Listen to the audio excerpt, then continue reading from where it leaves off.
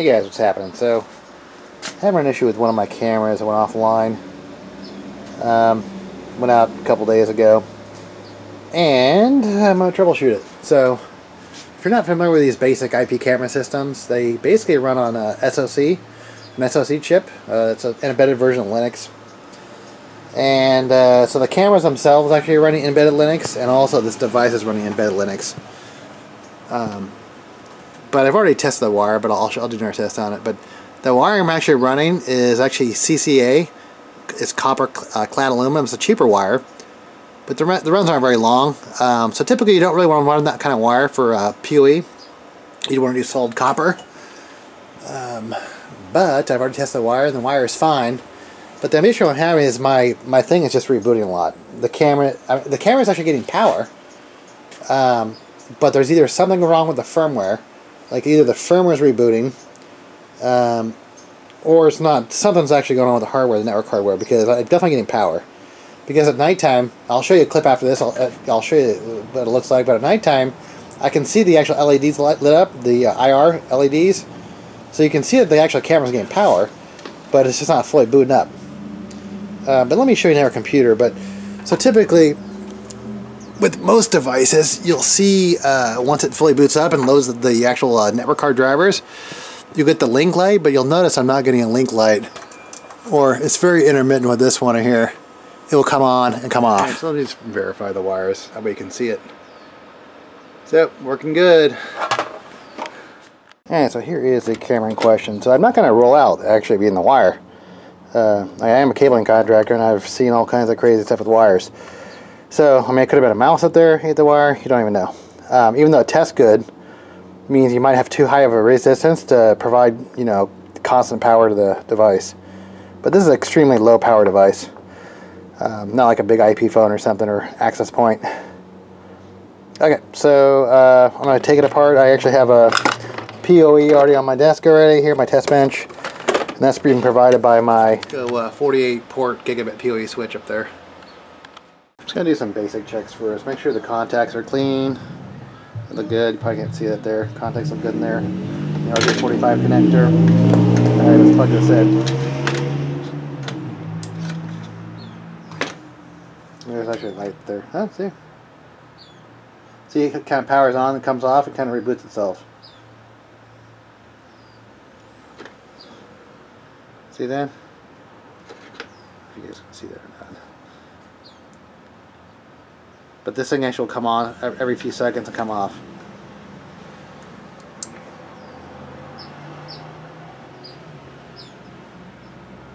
Well, it did for a second.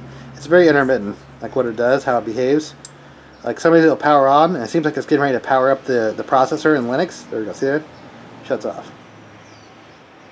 So that could be like a faulty cap maybe? I'm not sure inside the device here. Uh, that could be a corrupted bootloader. So what I mean by SOC, I don't know if I could, sometimes in my video, I, I, I, don't, I don't know how detailed you guys want this stuff. Uh, but an SOC chip is like, sort of like a, an SOC chip is a, like a single, pro, it's one chip that actually has a processor, memory, it might have internal flash, network interfaces, I mean, they're all different, but uh, that's what these cameras run on, a version of Linux. So this is actually like a home user, like just about every single home user router out there runs a SoC version of Linux, embedded Linux. Alright, um, I gotta figure out what's up with this. So I can kind of verify that it's definitely not the cable here. So this thing should just come apart with three screws here in the back.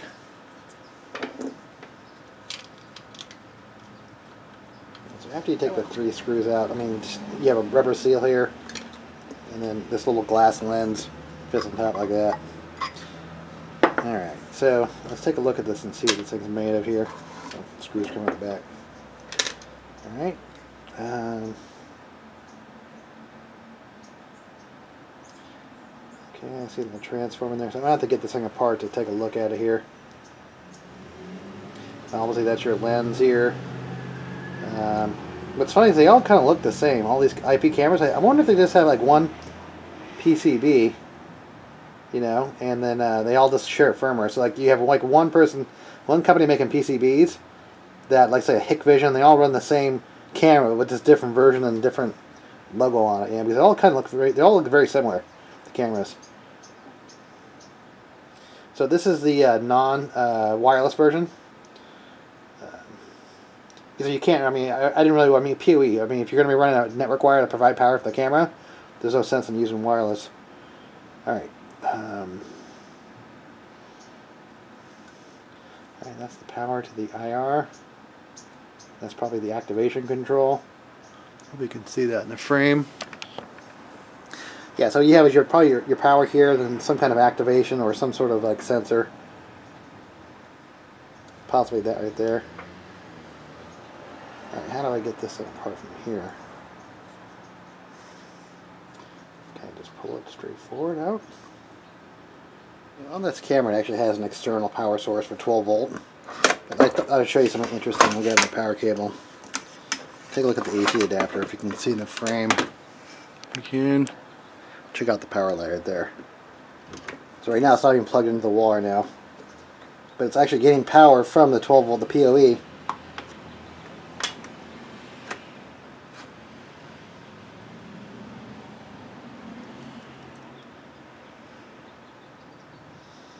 That is a trip.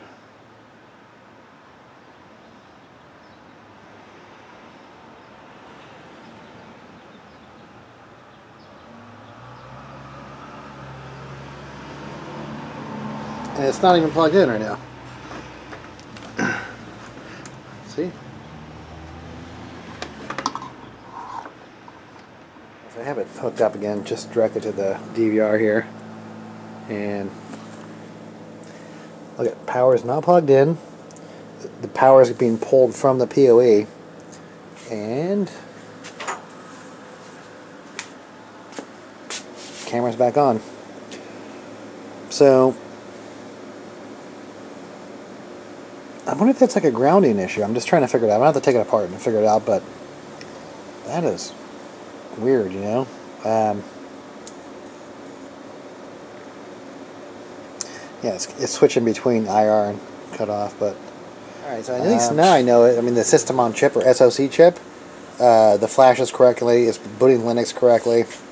Um, there's also a way I can solder on, a, it's not like called a JTAG, but I can solder on some pins at the board and I could actually hook up a TTL USB TTL adapter and watch it boot up. It's basically like hooking up a console to it.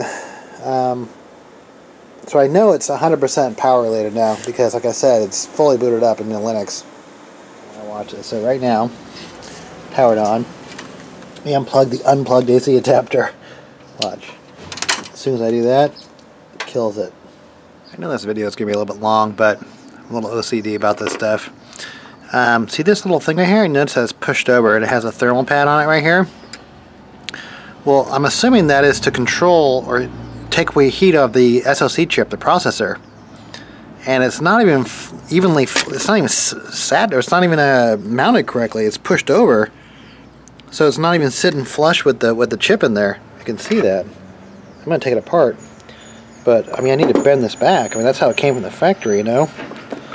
So really, it's not it's not it's not providing any sort of cooling. So what this is a heat sink right here. It's designed to draw heat away from the processor and back into here and kind of like distribute the heat amongst the, the case here.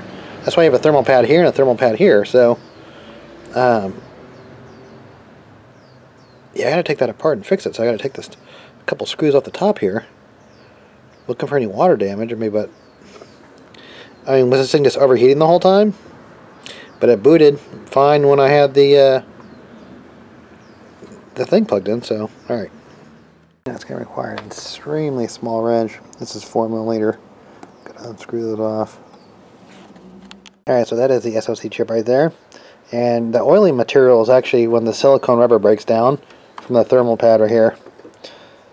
Uh, I know a lot about this because I, uh, I mean, you see my crypto mining videos. At least this part, like the thermal pads and stuff, breaking down. Um, okay. Uh, I got a, the power board. The PoE power board is uh, underneath here. So that's pretty interesting. They actually have one of those, uh, you know, moisture packs. I'm actually glad they put it there and versus not put it in there.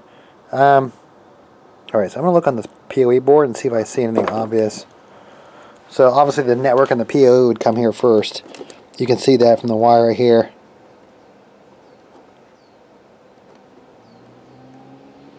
So I got to figure out where it's drawing power and, and look, I'm gonna look at the board. Look at the solder connections and look for any bad components. I definitely noticed that this cap seems a little bit slightly bulged on the top. And I can feel it kind of coming out, so maybe it's a bad cap. I'm going to get my ESR meter out here.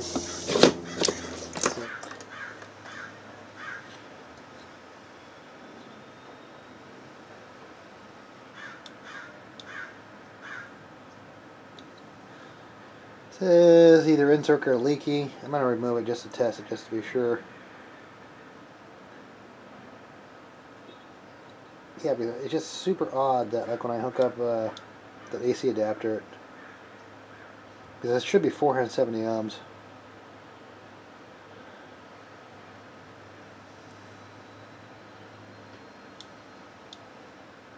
Yeah, all over the place reading. Um, so I'm actually I'm gonna remove it just to to be sure. All right, so here's the cap. Uh, yeah, I don't know if this looks actually good because look. I don't know if it blew out the bottom. I mean, actually, literally, it looks like it blew out the bottom. Because actually, that's the, the, the winding material. It's basically, it's like a wrap paper. Uh, with electrolytic solution in there. But, yeah, I don't think that looks right. I've never seen a cap that looked like that before. I tell you that for sure. So, let's hook it up anyways, just to make sure. So this should be 470 ohm on the ESR meter. And by the way, that's actually my I, I design. That's actually one of the first things I ever designed in 3D printing was this uh, meter stand here. Um, let's see here.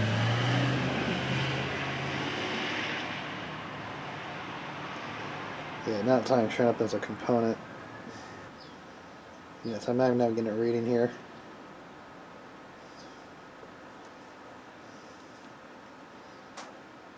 Yeah, it's something I, I noticed. Like, why is that rubber thing there? Like, like a protector pad or something? But yeah, I just think that when I instead of actually blowing out this way, you know, it pushed the whole cap up and pu pulled the rubber thing out here, the rubber seal. So I got to find a 470 ohm cap, 25 volt. Alright, so on my way to pick up another capacitor, 470 microfarad, 25 volts. I was thinking, like, how is this thing working without the capacitor? And I, I was thinking that if you're not, if you're familiar or not familiar with electronics, um, an inductor is almost exactly like a capacitor. It's a storage, a, a, unit, a way to store energy. Um, whereas a transformer is basically two inductors so what I was thinking is maybe by, the, by having this thing backfeeding into the circuit, it was acting like a capacitor, storing the actual energy, basically acting and replacing this capacitor. You know, so that was my thought because maybe the capacitor was, well, the inductor was working in place of the capacitor. If that makes sense or not. But this thing was acting as a capacitor. Um, Alright, so we get that soldered on there and fire up and see if it works. Um, I've also got some standoffs too. I'll make another video about that. I've made another one on OpenWRT Linux and uh, wherever the board is at, camera board, there's a, a UART. So I want to actually mess around with the firmware. Yeah, I don't like the firmware that's on it. It's basically they dummy down the firmware. Um, but I should be able to solder hopefully a UART on there to program that chip. Change the software, change the version of Linux on there. Let me show you a working capacitor so it's supposed to look like or how it's supposed to work on this meter. See? It's 470, it shows up at 469. So that is correct. Put a link down below if you want an ESR meter. Um, and then this is actually is on my Thingiverse page, the stand. Alright, so cap looks good. Solder in there. Alright, got the cap back in. Let's fire this up, see what happens. Alright, so I'm going to try this out the IR bar because I know this thing definitely has a bad diode on there. And that probably was caused by me, uh, like when I was experimenting with the power. Like I think I somehow sent voltage back the wrong way, and the diode it, it, it hit the diode. Um, so let's try this. I don't know what's going to happen. Hope I don't hear any pops. All right.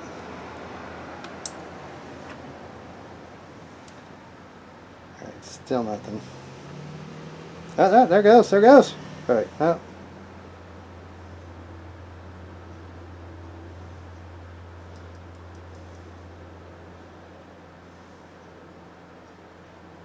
Look at that. Hopefully you can see that in the camera. Alright, that was the issue.